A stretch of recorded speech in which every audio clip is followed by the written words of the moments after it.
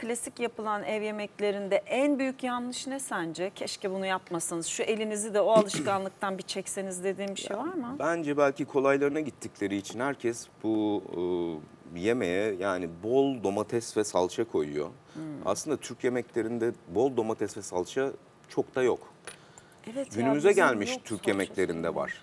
Ee, ama yani Osmanlı İmparatorluğu'na 1950'den sonra domatesin girdiğini düşünürseniz şu anda içinde salça olmayan yemeğimiz yok. E bu adamlar yapmıyorlar mıydı o yemeği? Yapıyorlardı eskiden de. Ama ne yapıyorlardı işte? Farklı şekillerde lezzetlendiriyorlardı. İçine salça koyup e, o lezzeti vermektense olmamış üzümü alıyor, koruk koyuyor içine mesela. Veya koruk suyu kullanıyor. Ya da ne bileyim işte meyveler kullanıyor, kuru meyveler kullanıyor. Onlardan püreler yapıyor, onu kullanıyor. Of. Ve yani e, çok yönlü, çok boyutlu bir mutfak aslında olabilecekken her şeye domates salçası kattığımız için bırakın İtalyanlar kullansın, bırakın İspanyollar kullansın istedikleri kadar.